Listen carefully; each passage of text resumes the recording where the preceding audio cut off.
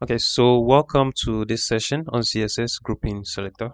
Okay, so if you see the documentation at W3 Schools, uh, you'll see um, in this editor here, we have the H1, H2, and then P tag having the same styling property that's align, center, and then the color red. Okay, so um, it will be better we use few lines of code and then just to achieve more. Okay so better to use few lines of, uh, of code to achieve more because it doesn't look right or like okay to have um, the same um, like code being repeated. Okay so kind of redundancy.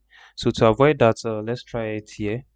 Um, just going to clear my ids class here. Okay so the changes I'm going to do is um, just going to affect the h2, h1, and then the p tag.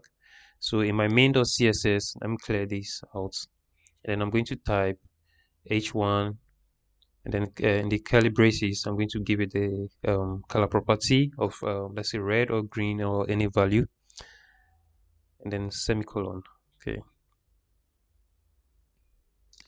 So let me add comma, and then I'll put the h2 tag comma and then a p tag. Okay so that's a paragraph tag.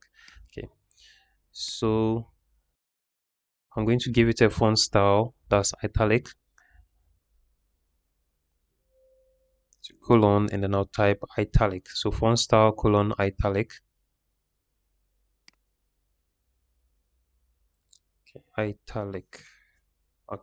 Then i'll end it with a semicolon. Okay and then I'll do that for the red too. I can also mouse over and then, then change the color values here. So this only works in VS Code. I don't know for other um, editors, but let's see what happens here. You can see now they have the green properties for the H1, H2, and then the P tag.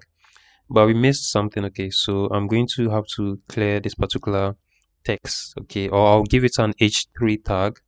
Okay, so I'm going to clear part of it and then I would give it an h3 tag.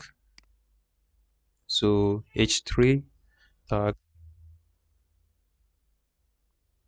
copy it, cut it, and then uh, paste it in the middle. So in between the opening and the closing tag for h3.